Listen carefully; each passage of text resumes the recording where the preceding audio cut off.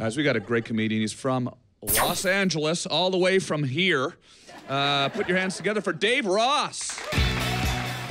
If you're still in your 20s, you gotta try out this being 30 shit. It is amazing. Everything's better now. I don't throw up anymore. I generally shit solid. I have a teapot. It's dope. On your 30th birthday, a guy in a trench coat knocks on your door, and when you answer it, he just walks inside and puts all your posters in frames. it's awesome. Best government program I've ever been a part of.